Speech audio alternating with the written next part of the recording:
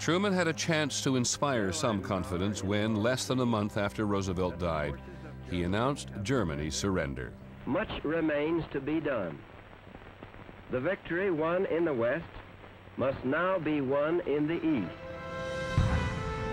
A series of valiant American victories seemed to promise that the end might finally be near.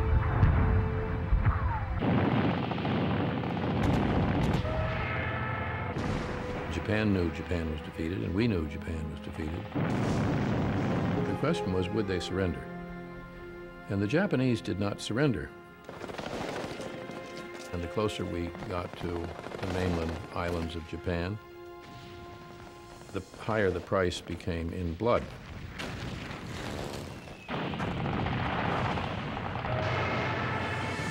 Suicidal kamikaze attacks suggested to Americans that the enemy would fight until the bitter end.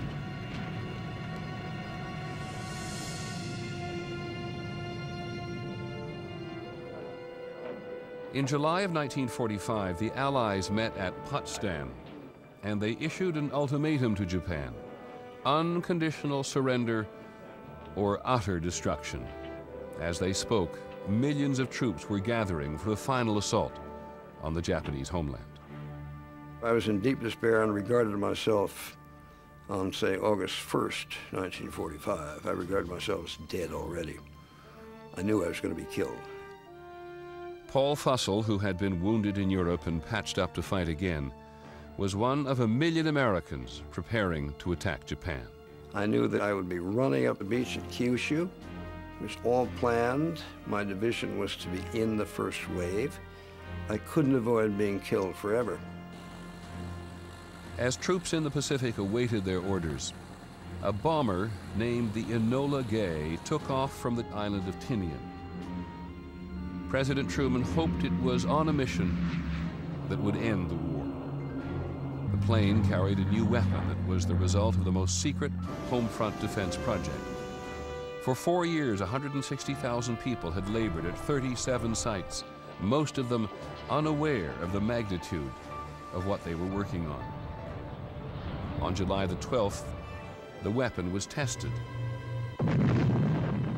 The decision to use it came less than a month later.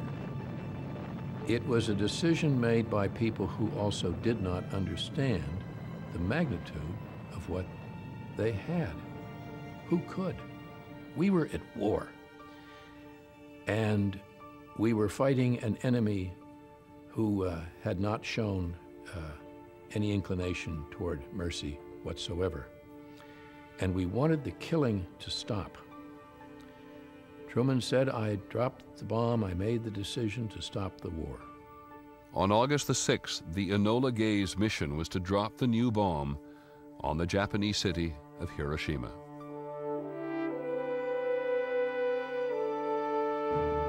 I remember hearing on the radio that an atom bomb had been dropped. And in my head, I spelled it A D A M and wondered, what is this atom bomb? And, you know, why is it so powerful? The world had never seen anything like it. A single bomb that could level an entire city. Three days later, a second atom bomb was dropped on Nagasaki.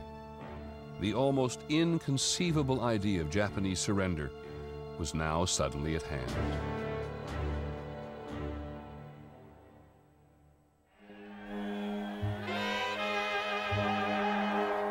The news came on August the 15th, 1945. Japan had surrendered. I was at Fort Dix, New Jersey. Thrilled that the war was over, that I didn't have to fight. They were going to send me to um, machine gun school, but there was nobody to machine gun anymore.